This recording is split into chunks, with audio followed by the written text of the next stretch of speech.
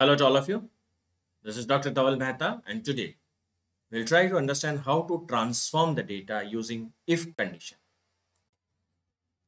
We are having a problem, a case study that a company wants to give increment of 20% for employees who are in managerial level and having an education of more than 8 years and having previous experience of more than 60 months. The data is a employee data which we are going to use this data is available in the samples of SPSS. It will be available with you also.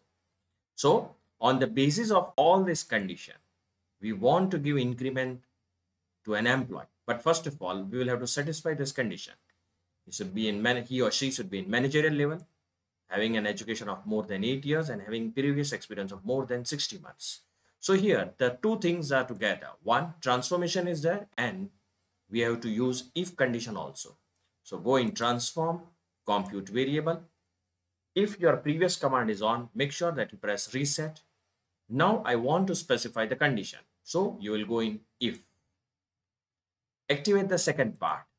Now transfer job category here equal to 3 because managerial is coded as 3. Now activate and education we require should be more than 8 years. So transfer education here, it should be more than 8.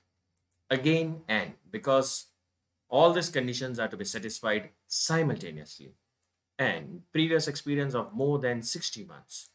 So I'll transfer this also. It should be more than 60 months. Continue. Make sure that whatever condition you specify, it is highlighted below.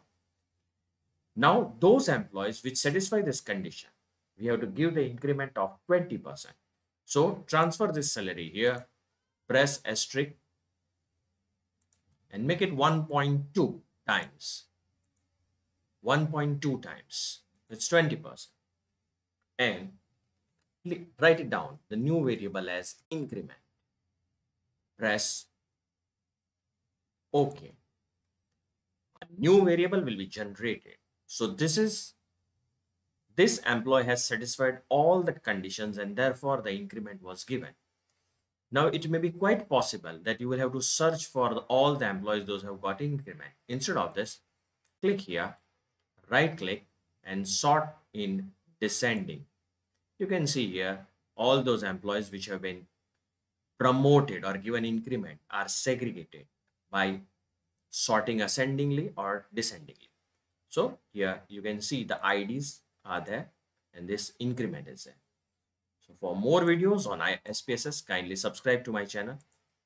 You can see my playlist in which I have already uploaded many videos of SPSS. Please don't forget to press the like button. You can also follow me on LinkedIn and Twitter.